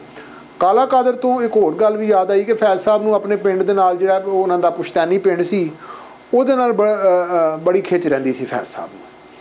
ਇਹ ਗੱਲ ਮਸ਼ਹੂਰ ਹੈ ਕਿ ਜਦੋਂ ਫੈਜ਼ ਸਾਹਿਬ ਨੂੰ ਲੈਣਾ ਨਮਨ ਅਵਾਰਡ ਮਿਲਿਆ ਸੀ, ਤੇ ਉਹਦੀ ਜਿਹੜੀ ਰਕਮ ਹੈ, ਉਹ ਜਿਹੜੀ ਉਸ ਜ਼ਮਾਨੇ 'ਚ ਜੋ ਵੀ ਉਹਦੀ ਰਕਮ ਮਿਲੀ ਸੀ, ਉਹ ਫੈਜ਼ ਸਾਹਿਬ ਨੇ ਆਪਣੇ ਪਿੰਡ ਦੀ ਮਸਜਿਦ ਵਾਸਤੇ ਤੇ ਉਹ ਜਿਹੜੀ ਸੜਕ ਮਸਜਿਦ ਤੱਕ ਜਾਂਦੀ ਸੀ ਉਹ ਉਹ ਉਹਦੇ ਬਣਾਉਣ ਵਾਸਤੇ ਜਿਹੜਾ ਨਾ ਫੈਜ਼ ਸਾਹਿਬ ਨੇ ਉਹ ਕੱਲੀ ਸੀ। ਐਸਾ ਕੋਈ ਕੋਈ ਦਸਤਾਵੇਜ਼ੀ ਸਬੂਤ ਸਾਡੇ ਸਾਹਮਣੇ ਨਹੀਂ ਆਇਆ ਕਿਸੇ ਕਿਤਾਬ 'ਚ ਕਿਸੇ ਥਾਂ ਤੇ ਕੋਈ ਗੱਲ ਐਸੀ ਲਿਖੀ ਪੜੀ ਸਾਹਮਣੇ ਨਹੀਂ ਆਈ ਕਿ ਫੈਜ਼ ਸਾਹਿਬ ਕਦੀ ਆਪਣੇ ਪਿੰਡ ਗਏ ਹੋਣ। ਸ਼ਹਿਰ ਦੇ ਵਿੱਚ ਅ, ਬਾਜ਼ ਐਸੀਆਂ ਜ਼ਮੀਨਾਂ ਜਿਹੜੀਆਂ ਨੇ ਮੌਜੂਦ ਨੇ ਅ, ਜਿਨ੍ਹਾਂ ਦੇ ਬਾਰੇ ਚ ਕਿਹਾ ਜਾਂਦਾ ਹੈ ਕਿ ਉਹ ਫੈਜ਼ ਸਾਹਿਬ ਨੇ ਇੱਥੋਂ ਜਿਹੜੀਆਂ ਵੇਚ ਦਿੱਤੀਆਂ ਸਨ ਤੇ ਚਲੇ ਗਏ ਸਨ ਤੇ ਇੱਥੋਂ ਮਾਲੂਮ ਹੁੰਦਾ ਕਿ ਸ਼ਹਿਰ 'ਚ ਜਦੋਂ ਉਹਨਾਂ ਨੇ ਆ ਕੇ ਰਹਿਣ ਸਨ ਆਬਾਦ ਕੀਤਾ ਹੈ ਤੇ ਇੱਥੇ ਕੋਈ ਥਾਂ ਖਰੀਦੇ ਹੋਣਗੇ ਤੇ ਮਕਸਦ ਉਹਦਾ ਇਹ ਹੀ ਹੋਣਾ ਕਿ ਮੁਸਤਕਬਲ 'ਚ ਅਸੀਂ ਇੱਥੇ ਹੀ ਰਹਿਣਾ ਹੈ। ਆਉਣ ਵਾਲੇ ਵੇਲੇ 'ਚ ਜਿਹੜਾ ਅਸੀਂ ਐਸੇ ਸ਼ਹਿਰ ਦੇ ਵਿੱਚ ਰਹਿਣਾ ਚਾਹੁੰਦੇ ਆ ਔਰ ਇੱਥੇ ਹੀ ਅਸੀਂ ਜਿਹੜਾ ਆਪਣਾ ਅਗ- ਅਗਲਾ ਜਿਹੜਾ ਉਹ ਨਿਜ਼ਾਮ ਜ਼ਿੰਦਗੀ ਦਾ ਜਾਂ ਖਾਨਦਾਨੀ ਨਿਜ਼ਾਮ ਜਿਹੜਾ ਉਹ ਇੱਥੇ ਹੀ ਚਲਾਉਣਾ ਚਾਹੁੰਦੇ ਆ ਫੈਜ਼ ਸਾਹਿਬ ਦੇ ਘਰ ਦੇ ਬਾਰੇ 'ਚ ਕੋਈ ਪੱਕੀ ਪੀਟੀ ਗੱਲ ਹੈ? ਇਸ ਵੇਲੇ ਕਿਸੇ ਨੂੰ ਵੀ ਨਹੀਂ ਪਤਾ। ਅ, ਮੁxtਲਿਫ ਲੋਕਾਂ ਦੀ ਮੁxtਲਿਫ ਰਾਏ ਵੇ। ਇਹ ਬਾਜ਼ ਲੋਕਾਂ ਦਾ ਇਹ ਕਹਿਣਾ ਹੈ ਕਿ ਇਹ ਜਿਹੜਾ ਮਹੱਲਾ ਆਪਣਾ ਗ੍ਰੀਨਵਰਡ ਸਟਰੀਟ ਦੇ ਨਾਲ ਜਿਹੜਾ ਮ- ਮਿਆਣਾਪੁਰਾ ਹੈ ਪੁਰਾਣਾ ਜਿੱਥੇ ਅ, ਖਾਜਾ ਮੁਹੰਮਦ ਤਫੈਲ ਸਾਹਿਬ ਦਾ ਘਰ ਸੀ ਜਾਂ ਇਹਦੇ ਆਲੇ ਦੁਆਲੇ ਕਿਸੇ ਗਲੀ ਦੇ ਵਿੱਚ ਫੈਜ਼ ਸਾਹਿਬ ਦਾ ਮਕਾਨ ਜਿਹੜਾ ਬਾਜ਼ ਲੋਕਾਂ ਨੇ ਕੋਈ ਇੱਕ ਕੋਈ ਇੱਕ ਪਾਸੇ ਨਿਸ਼ਾਨਦੇਹੀ ਕਰਦਾ ਹੈ ਕੋਈ ਦੂਜੇ ਪਾਸੇ ਨਿਸ਼ਾਨਦੇਹੀ ਕਰਦਾ ਹੈ। ਮੈਂ ਆਪਣੇ ਜ਼ਮਾਨਾ ਤਾਲਬ ਇਲਮੀ ਚ ਜਦੋਂ ਮੈਂ ਪੜ੍ਹਦਾ ਸਾਂ ਤੇ ਮੇਰੇ ਜ਼ਮਾਨਾ ਤਾਲਬ ਇਲਮੀ ਚ ਮੈਨੂੰ ਇੱਕ ਪ੍ਰੋਫੈਸਰ ਸਾਹਿਬ ਸਨ, ਉਹ ਮਰੇ ਕਾਲਜ ਦੇ ਪ੍ਰੋਫੈਸਰ ਸਾਹਿਬ ਸਨ, ਮੈਂ ਉਹਨਾਂ ਕੋਲ ਘਰ ਪੜਨ ਜਾਂਦਾ ਸਾਂ, ਉਹ ਇੱਕ ਘਰ ਚ ਰਹਿੰਦੇ ਸਨ। ਉਹ ਘਰ ਜਿਹੜਾ ਉਹ ਸ਼ਵਾਲਾ ਤੇਜਾ ਸਿੰਘ ਦੇ ਪਿੱਛੇ ਹੈਗਾ ਸੀ। ਉਹ ਉਹ ਇਹ ਕਹਿੰਦੇ ਹੁੰਦੇ ਸਨ ਕਿ ਇਸ ਘਰ 'ਚ ਜਿਹੜਾ ਫੈਜ਼ ਸਾਹਿਬ, ਇਹ ਫੈਜ਼ ਸਾਹਿਬ ਦਾ ਘਰ ਹੈ। ਉਹ ਕੋ ਸਾਹਿਬ ਸਨ ਤੇ ਉਹ ਕਹਿੰਦੇ ਸਨ ਜੀ, ਇਹ ਉਹਨਾਂ ਨੇ ਫੈਜ਼ ਦੇ ਵਾਲਦ ਕੋਲੋਂ ਖਰੀਦਿਆ ਸੀ ਤੇ ਫੈਜ਼ ਕੋਲੋਂ ਖਰੀਦਿਆ ਸੀ। ਤੇ ਉਹ ਕਹਿੰਦੇ ਨੇ ਜੀ, ਇਹ ਫੈਜ਼ ਦਾ ਵਾਲਦ ਵੀ ਇੱਥੇ ਰਹਿੰਦਾ ਸੀ, ਉਹ ਚੰਗਾ ਬਾਬਾ ਸੋਹਣਾ ਆਪਣੇ ਜ਼ਮਾਨੇ ਦਾ ਵੱਡਾ ਘਰ ਸੀ। ਪਤਾ ਲੱਗਦਾ ਸੀ ਕਿ ਕਿਸੇ ਖਾਂਦੇ ਮੈਂ ਚੂੰਕਿ ਉਸ ਘਰ ਨੂੰ ਵੇਖਿਆ ਏ ਤੇ ਉਹਨਾਂ ਦਾ ਦਾਵਾ ਸੀ ਕਿ ਘ- ਘਰ ਜਿਹੜਾ ਫੈਜ਼ ਸਾਹਿਬ ਦਾ ਉਹ ਘਰ ਵੀ ਵੇਖਣ ਚ ਚ- ਆ, ਦੱਸਦਾ ਸੀ ਕਿ ਆਪਣੇ ਜ਼ਮਾਨੇ ਦੇ ਕਿਸੇ ਖਾਂਦੇ ਪੀਂਦੇ ਚੰਗੇ ਬੰਦੇ ਨੇ ਉਹ ਘਰ ਬਣਾਇਆ ਹੈ ਉਥੇ ਇੱਕ ਕਮਰੇ 'ਚ ਫੈਜ਼ ਸਾਹਿਬ ਦੀ ਤਸਵੀਰ ਵੀ ਸੀ ਉਹ ਕਹਿੰਦੇ ਸਨ ਜੀ ਉਹ ਜਿ- ਜਿ- ਜਿਹਨੇ ਮਕਾਨ ਵੇਚਿਆ ਸੀ ਉਹ ਕਹਿੰਦਾ ਸੀ ਜੀ ਇੱਥੇ ਫੈਜ਼ ਸਾਹਿਬ ਰਹੇ ਨੇ ਤੇ ਤਾਂ ਮੈਂ ਇੱਥੇ ਉਹਨਾਂ ਦੀ ਤਸਵੀਰ ਲਾਈ ਹੈ ਲੇਕਿਨ ਇਸ ਗੱਲ ਨੂੰ ਵੀ ਅਸੀਂ ਕਿਸੇ ਤਰ੍ਹਾਂ ਮਤਲਬ ਉਹ, ਸਾਬਤ ਤਾਂ ਨਹੀਂ ਕਰ ਸਕਦੇ ਇਹ ਵੀ ਇੱਕ ਬੰਦੇ ਦੀ رائے ਵੇ ਜਾਂ ਇੱਕ ਬੰਦੇ ਦਾ ਖਿਆਲ ਹੈ ਇੱਕ ਬੰਦੇ ਦਾ ਕਹਿਣਾ ਹੈ ਅਹ ਹੋਰ ਵੀ ਦੋ ਤਿੰਨ ਜਗ੍ਹਾ ਨੇ ਜਿਨ੍ਹਾਂ ਦੇ ਬਾਰੇ 'ਚ ਮੁxtਲਿਫ ਲੋਕਾਂ ਦਾ ਕਹਿਣਾ ਹੈ ਜਿਹੜੀ ਆਪਣਾ ਮੁਜਾਹਿਦ ਰੋਡ ਹੈ, ਉੱਥੋਂ ਵੀ ਇੱਕ ਗਲੀ ਅੰਦਰ ਨੂੰ ਆਂਦੀ ਉੱਥੇ ਵੀ ਬਾਅਦ ਲੋਕਾਂ ਦਾ ਖਿਆਲ ਹੈ। ਫੈਜ਼ ਸਾਹਿਬ ਨੇ ਆਪਣੇ ਘਰ ਦੇ ਬਾਰੇ 'ਚ ਕੁਝ ਨਿਸ਼ਾਨੀਆਂ ਦੱਸੀਆਂ ਨੇ। ਉਹ ਸ਼ੀਮਾ ਮਜੀਦ ਨੇ ਜਿਹੜੀ ਕਿਤਾਬ ਲਿਖੀ ਹੈ, ਉਹਦੇ ਚ ਦੋ ਤਿੰਨ ਨਿਸ਼ਾਨੀਆਂ ਐਸੀਆਂ ਨੇ ਕਿ ਉਹਨਾਂ ਦੇ ਬਾਰੇ ਜਿਹੜਾ ਨਾ ਉਸ ਘਰ ਨੂੰ ਲੱਭਿਆ ਜਾ ਸਕਦਾ ਹੈ। ਮੈਂ ਉਹਨਾਂ ਨਿਸ਼ਾਨੀਆਂ ਤੋਂ ਪਹਿਲਾਂ ਇੱਕ ਗੱਲ ਹੋਰ ਕਰਾਂਗਾ ਕਿ ਜਿਹੜੀ ਲੋਕ ਇਹ ਗੱਲ ਕਰਦੇ ਨੇ, ਮਤਲਬ ਜ- ਮਿਆਣੇਪੁਰੇ ਵਾਲਿਆਂ ਦਾ ਇਹ ਖਿਆਲ ਹੈ, ਹਾਲੇ ਤੱਕ ਜਿੰਨੇ ਵੀ ਮ- ਮੇਰੇ ਇਲਮ 'ਚ ਜਿਹੜੇ ਦੋਸਤ ਅਹਬਾਬ ਨੇ, ਜਿਹੜੇ ਸਾਥੀ ਨੇ, ਜਿਹੜੇ ਫੈਜ਼ ਸਾਹਿਬ ਦੇ ਘਰ ਦੀ ਨਿਸ਼ਾਨਦੇਹੀ ਕਰਦੇ ਨੇ, ਉਹ ਜਿਨ੍ਹਾਂ ਗੱਲਾਂ ਨੂੰ ਬੁਨਿਆਦ ਬਣਾਉਂਦੇ ਨੇ, ਉਹਨਾਂ ਗੱਲਾਂ ਦੀ ਤਰੀਹੀ ਤੌਰ ਦੇ ਉੱਤੇ ਕੋਈ ਇੰਨੀ ਅਹਿਮੀਅਤ ਨਹੀਂ। ਮਤਲਬ ਬਾਅਦ ਲੋਕਾਂ ਦਾ ਕਹਿਣਾ ਜੀ ਕਿ ਉਹ ਇੱਥੇ ਰਹਿੰਦੇ ਸਨ, ਤਾਂ ਰਹਿੰਦੇ ਸਨ ਕਿ ਇੱਥੋਂ ਸਕਾਚ ਮਿਸ਼ਨ ਸਕੂਲ ਨੇੜੇ ਆ ਤੇ ਇੱਥੋਂ ਹੀ ਉੱਥੇ ਟੁਰ ਜਾਂਦੇ ਹੋਣਗੇ ਪੜਨ ਜਾਂ ਇੱਥੋਂ ਮੌਲਵੀ ਇਬਰਾਹੀਮ ਮੀਰ ਸਾਹਿਬ ਦੀ ਮਸਜਿਦ ਨੇੜੇ ਆ ਤੇ ਉੱਥੇ ਟੁਰ ਜਾਂਦੇ ਹੋਣਗੇ ਆ ਕੋਈ ਐਸੀ ਗੱਲ ਨਹੀਂ ਹੈਗੀ ਕਿ ਕੋਈ ਆਦਮੀ ਕਿਉਂਕਿ ਉੱਥੇ ਪੜਨ ਜਾਂਦਾ ਸੀ ਤੇ ਇਹਦਾ ਮਕਸਦ ਹਰ ਗਿਜ਼ਨੀ ਕੋ ਰਹਿੰਦਾ ਵੀ ਉਸ ਉਹਦੇ ਨੇੜੇ ਤੇੜੇ ਦੇ ਕਿਸੇ ਥਾਂ 'ਚ ਹੋਏ। ਇੰਜ ਹੋ ਵੀ ਸਕਦਾ ਹੈ ਲੇਕਿਨ ਅਸੀਂ ਇਸ ਗੱਲ ਨੂੰ ਦਲੀਲ ਨਹੀਂ ਬਣਾ ਸਕਦੇ। ਤਾਰੀਖ ਇਹਨਾਂ ਚੀਜ਼ਾਂ ਨੂੰ ਨਹੀਂ ਮੰਨਦੀ ਤਾਰੀਖ ਦਾ ਇੱਕ ਆਪਣਾ ਤਰੀਕਾ ਹੈ ਕੰਮ ਕਰਨ ਦਾ। ਅ, ਬਾਜ਼ ਦੋਸਤਾਂ ਨੇ ਮੌਲਵੀ ਇਬਰਾਹੀਮ ਮੀਰ ਦੀ ਮਸਜਿਦ ਦੇ ਨੇੜੇ ਕੋ ਮਕਾਨ ਦੀ ਜਾਂ ਇੱਥੇ ਸਕਾਚ ਮਿਸ਼ਨ ਸਕੂਲ ਜਿਹਨੂੰ ਅਸੀਂ ਮੌਜੂਦਾ ਕਣਕ ਮੰਡੀ ਸਕੂਲ ਕਹਿੰਦੇ ਆ ਤੇ ਇਹਨਾਂ ਵਜ੍ਹਾ ਤੋਂ ਲੱਭਿਆ ਹੈ। ਜਿਸ ਮਕਾਨ ਦਾ ਮੈਨੂੰ ਪਤਾ ਹੈ ਉਹ ਵੀ ਇੱਕ ਇੰਜ ਦੀ ਵਜ੍ਹਾ ਹੈ ਜਿਹਨੂੰ ਬਾਹਰ ਤੌਰ ਤਰੀਹੀ ਤੌਰ ਦੇ ਉੱਤੇ ਅਸੀਂ ਦਰੁਸਤ ਨਹੀਂ ਮੰਨ ਸਕਦੇ। ਫੈਜ਼ ਸਾਹਿਬ ਨੇ ਜਿਹੜੀਆਂ ਨਿਸ਼ਾਨੀਆਂ ਦੱਸੀਆਂ ਨੇ ਮੈਂ ਉਹਨਾਂ ਦਾ ਜ਼ਿਕਰ ਕਰਾਂਗਾ। ਫੈਜ਼ ਸਾਹਿਬ ਕਹਿੰਦੇ ਨੇ ਮੇਰੇ ਘਰ ਦੇ ਕੋਲ ਇੱਕ ਦੁਕਾਨ ਹੁੰਦੀ ਸੀ। ਉੱਥੇ ਨਾਵਲ ਕਿਤਾਬਾਂ ਕਿਰਾਏ ਤੇ ਮਿਲਦੇ ਸਨ। ਉਹ ਅ, ਉਥੋਂ ਲੋਕ ਨਾ 1 ਰੁਪਏ ਉਸ ਜ਼ਮਾਨੇ ਚ ਲੈਂਦੇ ਸਨ 1 ਰੁਪਏ ਜਾਂ 2 ਰੁਪਏ ਦੀ ਕੋਕ ਲੈਂਦੇ ਸਨ ਤੇ ਉਹ ਕਿਤਾਬਾਂ ਜਿਹੜੀਆਂ ਨੇ ਲੈ ਕੇ ਤੇ ਉਹ ਪੜ੍ਹਦੇ ਸਨ। ਫਿਰ ਉਹ ਕਹਿੰਦੇ ਨੇ ਮੇਰੇ ਘਰ ਦੇ ਨਜ਼ਦੀਕ ਜਿਹੜਾ ਹੈ ਇੱਕ ਵੱਡੀ ਹਵੇਲੀ ਵੀ ਸੀ। ਉਹ ਪੰਡਤ ਨਾਰਾਇਣ ਦੀ ਹਵੇਲੀ ਸੀ ਜਿੱਥੇ ਮੁਸ਼ਾਇਰੇ ਹੁੰਦੇ ਸਨ, ਸਰਦੀਆਂ 'ਚ ਤੇ ਲੋਕ ਉੱਥੇ ਰਾਤ ਨੂੰ ਜਮ੍ਹਾਂ ਹੁੰਦੇ ਸਨ। ਉਹ, ਇਹ ਵੀ ਉਹਨਾਂ ਨੇ ਮਤਲਬ ਇੱਕ ਗੱਲ ਲਿਖੀ ਹੈ। ਫਿਰ ਉਹ ਆਪਣੇ ਘਰ ਦੇ ਨਜ਼ਦੀਕ ਇੱਕ ਮਸਜਿਦ ਦਾ ਵੀ ਜ਼ਿਕਰ ਕਰਦੇ ਨੇ। ਲੇਕਿਨ ਉਹ ਮਸਜਿਦ ਉਹ ਨਹੀਂ ਜਿਹੜੀ ਉਹ ਮੌਲਵੀ ਮੀਰ ਹਸਨ ਵਾਲੀ ਮਸਜਿਦ ਹੈ। ਉਹ ਉਂਝ ਗੱਲ ਕਰਦੇ ਨੇ ਕਿ ਮੇਰੇ ਘਰ ਦੇ ਨਜ਼ਦੀਕ ਇੱਕ ਮਸਜਿਦ ਵੀ ਹੈਗੀ ਹੈ। ਹੁਣ ਜਿੰਨੇ ਵੀ ਦੋਸਤ ਅਹਬਾਬ ਐਸ ਇਸ ਚੀਜ਼ ਨੂੰ ਲੱਭਦੇ ਨੇ, ਉਹ ਉਹਨਾਂ ਨੂੰ ਵੇਖਣਾ ਪਏਗਾ ਜਾਂ ਜਿਹੜੇ ਮਕਾਨ ਜਿਨ੍ਹਾਂ ਦੇ ਬਾਰੇ ਚ ਲੋਕਾਂ ਦਾ ਦਾਵਾ ਹੈ ਉਹ ਭਾਵੇਂ ਮੈਂ ਦੱਸਿਆ ਹੈ ਜਾਂ ਇਹਨੇ ਦੱਸਿਆ ਜਾਂ ਉਹਨੇ ਦੱਸਿਆ ਹੈ, ਉਹਨਾਂ ਦੇ ਕੋਈ ਦਸਤਾਵੇਜ਼ੀ ਸਬੂਤ, ਕੋਈ ਰਜਿਸਟਰੀ, ਕੋਈ ਮਲਕੀਅਤ, ਕੋਈ ਚੀਜ਼ ਹੋਏਗੀ, ਉਹਨੂੰ ਵੇਖਣ ਦੀ ਤੱਕਣ ਦੀ ਜ਼ਰੂਰਤ ਹੈ ਤਾਂ ਵਾਸਤੇ ਕਿ ਅਸਲ ਉਸ ਘਰ ਦੀ ਨਿਸ਼ਾਨਦੇਹੀ ਹੋਏ ਔਰ ਉਹਨੂੰ ਚੁੱਕਿਆ ਫੈਜ਼ ਸਾਹਿਬ ਇੱਕ ਵੱਡਾ ਨਾਂ ਹੈ ਉਹਨੇ ਪਾਕਿਸਤਾਨ ਦੇ ਜਿਨ੍ਹਾਂ 2 4 5 ਲੋਕਾਂ ਨੇ ਕੋਈ ਉਹਨਾਂ ਦੀ ਐਡੀ ਵੱਡੀ ਤਦਾਦ ਤੇ ਨਹੀਂ, ਜਿਨ੍ਹਾਂ ਨੇ ਬੈਨ ਅਕਵਾਮੀ ਅਦਬ 'ਚ ਜਾਂ ਪੂਰੀ ਦੁਨੀਆ ਦੇ ਅਦਬ 'ਚ ਆਪਣਾ ਹਿੱਸਾ ਪਾਇਆ ਹੈ ਫੈਜ਼ ਸਾਹਿਬ ਦਾ ਨਾਮ ਉਹਦੇ 'ਚ ਸ਼ਾਮਲ ਹੈ ਔਰ ਸਿਆਲਕੋਟ ਨੂੰ ਇਹ ਇਹ ਇਜਾਜ਼ਤ ਹਾਸਲ ਹੈ ਕਿ ਸਿਆਲਕੋਟ ਕੱਲਾ ਸ਼ਹਿਰ ਹੈ ਜਿਹਦੇ ਦੋ ਵੱਡੇ ਨਾਂ ਨੇ ਔਰ ਜਿਹੜੇ ਜਿ- ਜਿਨ੍ਹਾਂ ਦਾ ਹਿੱਸਾ ਜਿਹੜਾ ਅਦਬ ਅਦਬ ਦੀ ਖਿਦਮਤ ਦਾ ਹਿੱਸਾ ਦੁਨੀਆ ਦੇ ਅਦਬ 'ਚ ਬੈਨ ਅਲ-ਅਕਵਾਮੀ ਅਦਬ 'ਚ ਉਹਨਾਂ ਦਾ ਹਿੱਸਾ ਜਿਹੜਾ ਉਹ ਸ਼ਾਮਲ ਹੈਗਾ ਹੈ। ਤੇ ਉਸ ਮਕਾਨ ਨੂੰ ਲੱਭ ਕੇ ਅਗਰ ਉਹਨੂੰ ਕੌਮੀ ਵਿਰਸਾ ਜਾਂ ਉਹਨੂੰ ਕੋਈ ਮਿਊਜ਼ੀਅਮ ਦੀ ਸ਼ਕਲ ਦਿੱਤੀ ਜਾਣੀ ਬਹੁਤ ਜ਼ਰੂਰੀ ਹੈ। ਕੌਮੀ ਵਿਰਸਾ ਨਾ ਕੋਈ ਸੂਬਾਈ ਅ, ਦੇ ਉੱਤੇ ਕੋਈ ਸ਼ਹਿਰੀ ਸਤ੍ਹਾ ਦੇ ਉੱਤੇ ਇਹਦੇ ਉੱਤੇ ਖੋਜਕਾਰਾਂ ਨੂੰ ਬੜੀ ਜ਼ਰੂਰਤ ਹੈ ਕਿ ਉਹ ਇਹ ਇਸ ਚੀਜ਼ ਨੂੰ ਲੱਭਣ। ਉਸ ਉਹ- ਉਹਦੇ ਵਾਸਤੇ ਜਿਹੜਾ ਮਹਿਕਮਾ ਮਾਲ ਦਾ ਰਿਕਾਰਡ ਹੈ, ਉਹਦਾ ਵੀ ਸਹਾਰਾ ਲਿਆ ਜਾ ਸਕਦਾ ਹੈ। ਔਰ ਜਿਹੜੀਆਂ ਰਜਿਸਟਰੀਆਂ ਦਾ ਕੋਈ ਇੰਤਕਾਲ ਹੈ, ਜਾਂ ਜਿਹੜੇ ਕੋ ਪਟਵਾਰਖਾਨਾ ਹੁੰਦਾ ਹੈ, ਜਾਂ ਉਹਦੇ ਉਹਦੇ ਕੋਲੋਂ ਵੀ ਕੋਈ ਮਾਲੂਮਾਤ ਹਾਸਲ ਜਿਹੜੀਆਂ ਨੇ ਕੀਤੀਆਂ ਜਾ ਸਕਦੀਆਂ ਨੇ। ਕਾਲਾ ਕਾਦਰ ਚੋਂ, ਫੈਜ਼ ਸਾਹਿਬ ਦੀ ਫੈਮਿਲੀ ਚੋਂ ਵੀ ਕੋਈ ਅਗਰ ਪੁਰਾਣੇ ਬਜ਼ੁਰਗਾਂ ਚੋਂ ਕੋਈ ਜ਼ਿੰਦਾ ਹੋਏ, ਤੇ ਅਗਰ ਅਵਲ ਤੇ ਐਸਾ ਮੁਮਕਨ ਨਹੀਂ, ਕਿਉਂਕਿ ਜੇ ਫੈਜ਼ ਸਾਹਿਬ ਦੇ ਵਾਲਦ ਦਾ ਇੰਤਕਾਲ 1913 ਚ ਹੋ ਗਿਆ ਸੀ, ਤੇ 2020 ਇਸ ਵੇਲੇ ਕੋਈ ਐਸਾ ਬੰਦਾ ਲੱਭਿਆ ਜਾਣਾ ਮੁਮਕਨ ਹੀ ਨਹੀਂ ਹੈਗਾ ਕਿ ਜਿਹੜਾ ਉਹਨਾਂ ਦੇ ਇੰਤਕਾਲ ਦੇ ਵੇਲੇ ਕੋਈ 15-20 ਸਾਲ ਦੀ ਹੋਸ਼ ਰੱਖਦਾ ਹੋਏ ਉਸ ਵੇਲੇ ਪੈਦਾ ਹੋਇਆ ਵੀ ਇਸ ਵੇਲੇ ਜਿਹੜਾ 100 ਤੇ ਹੋਰੇ ਕੋਈ ਬਣੇਗਾ ਕੋਈ 7 ਸਾਲ ਦਾ ਤੇ ਜਿਹੜਾ ਉਸ ਵੇਲੇ ਕੋਈ 15-20 ਸਾਲ ਦੀ ਹੋਸ਼ ਰੱਖਦਾ ਸੀ, ਜਦੋਂ ਫੈਜ਼ ਦੇ ਵਾਲਦ ਦਾ ਇੰਤਕਾਲ ਹੋਇਆ ਸੀ ਤੇ ਉਹਨੂੰ ਇਸ ਵੇਲੇ 100 ਕੋ 35-40 ਸਾਲ ਦਾ ਬੰਦਾ ਹੋਣਾ ਚਾਹੀਦਾ ਤੇ ਐਸਾ ਕੋਈ ਬੰਦਾ ਮੌਜੂਦ ਤੇ ਨਹੀਂ। ਲੇਕਿਨ ਐਸਾ ਕੋਈ ਹੋ ਸਕਦਾ ਹੈ ਜਿਨੇ ਕਿਸੇ ਐਸੇ ਬਜ਼ੁਰਗ ਦਾ ਜ਼ਮਾਨਾ ਵੇਖਿਆ ਹੋਏ ਜਿਨੇ ਉਹ ਵਾਲਾ ਜ਼ਮਾਨਾ ਵੇਖਿਆ ਹੋਏ ਤੇ ਇਹ ਫੈਜ਼ ਸਾਹਿਬ ਦੇ ਘਰਦਿਆਂ ਕੋਲੋਂ ਕੋਈ ਐਸਾ ਬੰਦਾ ਜਿਹੜਾ ਉਹ ਲੱਭਿਆ ਜਾ ਸਕਦਾ ਹੈ। ਅਹ ਚੌਧਰੀ ਸੁਲਤਾਨ ਮੁਹੰਮਦ ਦਾ ਨਾਂ ਬੜਾ ਵੱਡਾ ਸੀ। ਭਾਵ ਐਸ ਇਸ ਚੀਜ਼ ਨੂੰ ਲੱਭਦੇ ਨੇ। ਉਹ ਉਹਨਾਂ ਨੂੰ ਵੇਖਣਾ ਪਏਗਾ, ਜਾਂ ਜਿਹੜੇ ਮਕਾਨ ਜਿਨ੍ਹਾਂ ਦੇ ਬਾਰੇ ਚ ਲੋਕਾਂ ਦਾ ਦਾਵਾ ਹੈ ਉਹ ਭਾਵੇਂ ਮੈਂ ਦੱਸਿਆ ਹੈ ਜਾਂ ਇਹਨੇ ਦੱਸਿਆ ਹੈ ਜਾਂ ਉਹਨੇ ਦੱਸਿਆ ਹੈ, ਉਹਨਾਂ ਦੇ ਕੋਈ ਦਸਤਾਵੇਜ਼ੀ ਸਬੂਤ, ਕੋਈ ਰਜਿਸਟਰੀ, ਕੋਈ ਮਲਕੀਅਤ, ਕੋਈ ਚੀਜ਼ ਹੋਏਗੀ, ਉਹਨੂੰ ਵੇਖਣ ਦੀ, ਤੱਕਣ ਦੀ ਜ਼ਰੂਰਤ ਹੈ ਸੁਲਤਾਨ ਮੁਹੰਮਦ ਸ਼ਹਿਰ ਦੇ ਇੱਕ ਵੱਡੇ ਵਕੀਲ ਸਨ। ਉਹ ਇੱਥੇ ਵਕਾਲਤ ਦਾ ਕੰਮ ਹੀ ਕਰਦੇ ਰਹੇ ਨੇ। ਫੈਜ਼ ਸਾਹਿਬ ਨੇ ਇਸ ਗੱਲ ਦਾ ਜ਼ਿਕਰ ਕੀਤਾ ਹੈ ਕਿ ਜਦੋਂ ਵਾਪਸ ਆਏ ਸਨ ਅ, ਲੰਡਨ ਚੋਂ ਲੰਡਨ ਚਲੇ ਗਏ ਸਨ ਇੱਥੋਂ। ਉਹ ਅਫਗਾਨਿਸਤਾਨ ਚੋਂ ਵੀ ਇਹ ਗੱਲ ਕਹੀ ਜਾਂਦੀ ਹੈ ਕਿ ਅਫਗਾਨਿਸਤਾਨ ਚੋਂ ਵੀ ਆਪਣੀ ਜਾਨ ਬਚਾ ਕੇ ਨੱਸੇ ਸਨ। ਉੱਥੇ ਵੀ ਕੋਈ ਮਾਮਲਾ ਐਸੇ ਦਰਪੇਸ਼ ਆ ਗਏ ਸਨ। ਵੱਲਾ ਇਲਮ ਕੀ ਮਾਮਲਾ ਸਨ? ਕੋਈ ਐਸਾ ਦਸਤਾਵੇਜ਼ੀ ਸਬੂਤ ਤੇ ਸਾਡੇ ਸਾਹਮਣੇ ਨਹੀਂ ਹੈਗਾ। ਤਰੀਖ ਦੇ ਚੂੰਕਿ ਦੋ ਦੋ ਤਰੀਕੇ ਹੁੰਦੇ ਨੇ। ਤਰੀਖ ਨੂੰ ਬਿਆਨ ਕਰਨ ਦੇ ਇੱਕ ਰਵਾਇਤ ਹੁੰਦੀਆਂ ਨੇ ਜਿਹੜੀਆਂ ਟੁਰਦੀਆਂ ਆਉਂਦੀਆਂ ਨੇ ਇੱਕ ਬੰਦੇ ਕੋਲੋਂ ਦੂਜੇ ਬੰਦੇ ਕੋਲੋਂ ਤੀਜੇ ਬੰਦੇ ਕੋਲੋਂ। ਦੂਜਾ ਤਰੀਕਾ ਤਰੀਕਾ ਜਿਹੜਾ ਬਹੁਤਾ ਜਿਹਦੀ ਸਨਦ ਡਾਢੀ ਮੰਨੀ ਜਾਂਦੀ ਏ ਉਹ ਦਸਤਾਵੇਜ਼ੀ ਸ਼ਹਾਦਤਾਂ ਹੁੰਦੀਆਂ ਨੇ ਜਾਂ ਐਸੀਆਂ ਸ਼ਹਾਦਤਾਂ ਜਿਨ੍ਹਾਂ ਨੂੰ ਤਰੀਖ ਦੇ ਮੰਨਣ ਵਾਲੇ ਕਬੂਲ ਕਰ ਲੈਣ। ਐਸੀਆਂ ਕੋਈ ਸ਼ਹਾਦਤਾਂ ਬਹਰਹਾਲ ਫੈਜ਼ ਸਾਹਿਬ ਦੇ ਵਾਲਦ ਦੇ ਬਾਰੇ ਚ ਦਸਤਿਆਬ ਨਹੀਂ ਹੈਗੀਆਂ। ਅ, ਫੈਜ਼ ਸਾਹਿਬ ਦੇ ਵਾਲਦ ਦੇ ਬਾਰੇ ਚ ਇਹ- ਵੀ ਗੱਲ ਜਿਹੜੀ ਹੈ ਮੈਂ ਤੁਹਾਨੂੰ ਜ਼ਰੂਰ ਇੱਥੇ ਦੱਸਣਾ ਚਾਹਾਂਗਾ ਕਿ ਉਹ ਉਹਨਾਂ ਸ਼ਖਸੀਅਤ ਚੋਂ ਨੇ ਜਿਨ੍ਹਾਂ ਦੇ ਉੱਤੇ ਹਾਲੀਵੁੱਡ ਦੇ ਵਿੱਚ ਫਿਲਮ ਬਣੀ। ਫੈਜ਼ ਸਾਹਿਬ ਦੀ ਵਾਲਦ ਫੈਜ਼ ਦੇ ਵਾਲਦ ਜਿਹੜੇ ਨੇ, ਉਹਨਾਂ ਦੀ ਜ਼ਿੰਦਗੀ ਦੇ ਉੱਤੇ ਹਾਲੀਵੁੱਡ 'ਚ ਇੱਕ ਫਿਲਮ ਵੀ ਬਣੀ ਮੈਨੂੰ ਇਸ ਵੇਲੇ ਉਹਦਾ ਨਾਮ ਉਹ ਜਿਹੜੀ faz.com ਹੈ, ਉਹਦੇ ਉੱਤੇ ਦਾ ਹਵਾਲਾ ਮੌਜੂਦ ਹੈ ਉਸ ਫਿਲਮ ਦਾ। ਕਿਉਂਕਿ ਉਹ ਉਸ ਬੰਦੇ ਦੀ ਜ਼ਿੰਦਗੀ ਬੜੀ ਮਿਹਨਤ ਵਾਲੀ ਜ਼ਿੰਦਗੀ ਸੀ ਕਿ ਜਿਸ ਬੰਦੇ ਨੇ ਇੱਕ ਛੋਟੇ ਸ਼ਹਿਰ ਚ ਉੱਠਿਆ, ਉਹਦਾ ਵਾਲਦ ਕੋਈ ਐਡਾ ਵੱਡਾ ਨਹੀਂ ਸੀ ਤੇ ਉਹ ਨਿਕਲ ਕੇ ਇਥੋਂ ਸ਼ਾਹ ਅਫਗਾਨਿਸਤਾਨ ਦੇ ਦਰਬਾਰ 'ਚ ਪਹੁੰਚਿਆ ਔਰ ਉੱਥੇ ਸ਼ਾਹ ਅਫਗਾਨਿਸਤਾਨ ਦੀ ਜਿਹੜੀ ਅਜ਼ੀਜ਼ਾ ਸੀ, ਉਹਨਾਂ ਦੀ ਭੈਣ ਸੀ ਜਾਂ ਚਾਚਾ, ਚਚਾਜ਼ਾਦ ਭੈਣ ਸੀ, ਉਹਦੇ ਨਾਲ ਉਹਦੀ ਸ਼ਾਦੀ ਹੋਈ। ਸ਼ਾਹੀ ਖਾਨਦਾਨ ਨਾਲ ਤਲਕਾਤ ਵਾਬਸਤਾ ਹੈ ਉੱਥੋਂ ਇੰਗਲੈਂਡ ਚਲਾ ਗਿਆ। ਉਸ ਜ਼ਮਾਨੇ 'ਚ ਇੰਗਲੈਂਡ ਜਾਣਾ ਇੱਕ ਕੰਮ ਹੈ ਇੰਗਲੈਂਡ ਚਲਾ ਗਿਆ। ਇੰਗਲੈਂਡ ਤੋਂ ਫਿਰ ਵਾਪਸ ਆਇਆ, ਸਿਆਲਕੋਟ ਆਇਆ। ਸਿਆਲਕੋਟ ਆ ਕੇ ਫੈਜ਼ ਸਾਹਿਬ ਨੇ ਇੱਥੇ ਕੋਈ ਦੋ ਚਾਰ ਜ਼ਮੀਨਾਂ ਐਸੀਆਂ ਹੈ ਨੇ ਕੁਝ ਦੁਕਾਨਾਂ ਜਾਂ ਮਕਾਨ ਜਿਹੜੇ ਫੈਜ਼ ਸਾਹਿਬ ਨੇ ਸੇਲ ਕੀਤੇ ਨੇ। ਤੇ ਇਹਦਾ ਮਤਲਬ ਵੀ ਉਹਨੇ ਇੱਥੇ ਆ ਕੇ ਕੋਈ ਜ਼ਮੀਨ ਜਾਇਦਾਦ ਬਣਾਉਣ ਦੀ ਵੀ ਕੋਸ਼ਿਸ਼ ਕੀਤੀ। ਫਿਰ ਮੁੰਡਾ ਵੀ ਅੱਗੋਂ ਜਿਹਦਾ ਨਾਮ ਫੈਜ਼ ਅਹਿਮਦ ਫੈਜ਼ ਹੈ ਉਹ ਵੀ ਆਪਣੇ ਜ਼ਮਾਨੇ ਦਾ ਸਿਰ ਕੱਢਵਾ ਨਾਂ ਹੈ ਔਰ ਅੱਜ ਅੱਜ ਅੱਜ ਦੇ ਜ਼ਮਾਨੇ ਦਾ ਵੀ ਉਹ ਸਿਰ ਕੱਢਵਾ ਨਾ ਹੈ ਅਦਬ ਦੇ ਮੰਨਣ ਵਾਲੇ, ਖਾਸ ਤੌਰ ਤੇ ਉਰਦੂ ਅਦਬ ਦੇ ਮੰਨਣ ਵਾਲੇ ਤੇ ਗੱਲ ਕਹਿੰਦੇ ਨੇ ਕਿ ਉਰਦੂ ਸ਼ਾਇਰੀ ਦੇ ਵਿੱਚ ਤਿੰਨ ਹੀ ਨਾਂ ਨੇ ਜਿਹੜੇ ਇੱਕ ਦੂਜੇ ਦੇ ਨਾਲ ਜੁੜੇ ਨੇ।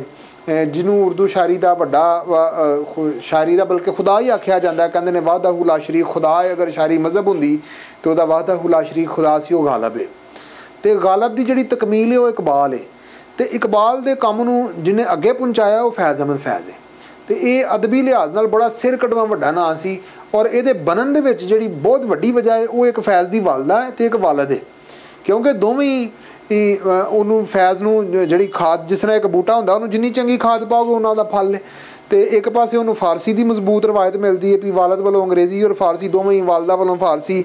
ਆਪੀ ਵੀ ਫੈਜ਼ ਸਾਹਿਬ ਦੀ ਤਾਲੀਮ ਜਿਹੜੀ ਉਹ ਅੰਗਰੇਜ਼ੀ ਔਰ ਫਾਰਸੀ ਦੀ ਸੀ। ਤੇ ਇਹ, ਇਸ ਵਾਸਤੇ ਇਹ, ਉਹ ਬੱਚਾ ਜਿਹੜਾ ਹੈ ਜਿਹੜਾ ਜਿਹਦਾ ਨਾਮ ਸਿਰਫ ਫੈਜ਼ ਅਹਿਮਦ ਸੀ, ਉਹ ਵੱਡਾ ਹੋ ਗਿਆ ਤੇ ਫੈਜ਼ ਅਹਿਮਦ ਫੈਜ਼ ਬਣਿਆ ਤੇ ਉਹਨੇ ਆਪਣੀ ਜਿਹੜੀ ਹੈ ਸ਼ੋਹਰਤ ਅਖਤਿਆਰ ਕੀਤੀ। ਔਰ ਅੱਜ ਵੀ ਫੈਜ਼ ਸਾਹਿਬ ਦਾ ਨਾਮ ਜ਼ਿੰਦਾ ਹੈ ਔਰ ਆਉਣ ਵਾਲੇ ਕਈ ਸਾਲਾਂ 'ਚ, ਕਈ 100 ਸਾਲਾਂ ਤੱਕ ਫੈਜ਼ ਸਾਹਿਬ ਦਾ ਨਾਮ ਜ਼ਿੰਦਾ ਹੀ ਰਹੇਗਾ। ਰੱਬ ਰੱਖਾ। ਰੱਬਾ ਸੱਚਿਆ ਤੂੰ ਤੇ ਆਖਿਆ ਸੀ, ਜਾ ਓਏ ਬੰਦਿਆ, ਜਗ ਦਾ ਸ਼ਾਹ ਤੂੰ। ਸਾਡੀਆਂ ਨੇਮਤਾਂ ਤੇਰੀਆਂ ਦੌਲਤਾਂ ਨੇ, ਸਾਡਾ ਨੈਬ ਤੇ ਆਲੀ ਜਾਏ ਤੂੰ। ਐਸ ਲਾਰੇ ਤੇ ਟੋਰ ਕਦ ਪੁੱਛਿਆ ਹੀ ਕੀ ਐਸ ਨਮਾਣੇ ਤੇ ਬੀਤੀਆਂ ਨੇ? ਕਦੀ ਸਾਰ ਵੀ ਲਈ ਆਓ ਰੱਬ ਸਾਈਆਂ, ਤੇਰੇ ਸ਼ਾਹ ਨਾਲ ਜਗ ਕੀ ਕੀਤੀਆਂ ਨੇ? ਕਿਤੇ ਧੌਂਸ ਪੁਲਿਸ ਸਰਕਾਰ ਦੀ ਏ, ਕਿਤੇ ਧਾਂਦਲੀ ਮਾਲ ਪਟਵਾਰ ਦੀ ਏ। ਐਵੇਂ ਹੱਡਾਂ 'ਚ ਕਲਪੇ ਜਾਣ ਮੇਰੀ, ਜਿਵੇਂ ਫਾਈ 'ਚ ਕੂੰਜ ਕੁਰਲਾਂਦੀ ਏ। ਚੰਗਾ ਸ਼ਾਹ ਬਣਾਇਆ ਈ ਰੱਬ ਸਾਈਆਂ, ਭੋਲੇ ਖਾਂਦਿਆਂ ਵਾਰ ਨਾ ਆਮਦੀ ਏ। ਮੈਨੂੰ ਸ਼ਾਹੀ ਨਹੀਂ ਚਾਹੀਦੀ ਰੱਬ ਮੇਰੇ, ਮੈਂ ਤੇ ਇੱਜ਼ਤ ਦਾ ਟੁੱਕੜ ਮੰਗਣਾ ਹਾਂ। ਮੈਨੂੰ ਤਾਂਗ ਨਹੀਂ ਮਹਿਲਾ ਮਾੜਿਆਂ ਦੀ, ਮੈਂ ਤੇ ਜੀਵਨ ਦੀ ਨੁੱਕਰ ਮੰਗਣਾ ਹਾਂ। ਮੇਰੀ ਮੰਨੇ ਤੇ ਤੇਰੀਆਂ ਮੈਂ ਮੰਨਾ ਤੇਰੀ ਸਹੁੰ ਜੇ ਇੱਕ ਵੀ ਗੱਲ ਮੋੜਾਂ, ਜੇ ਇਹ ਮੰਗ ਨਹੀਂ ਪੁੱਜਦੀ ਤੇ ਰੱਬਾ, ਫਿਰ ਮੈਂ ਜਾਵਾਂ ਤੇ ਰੱਬ ਕੋਈ ਹੋਰ ਲੋੜਾਂ।